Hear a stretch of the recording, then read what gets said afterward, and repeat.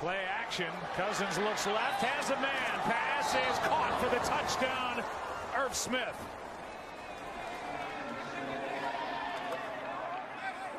The penalty in the end zone set it up.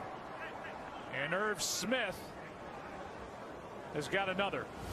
A really good design on this play.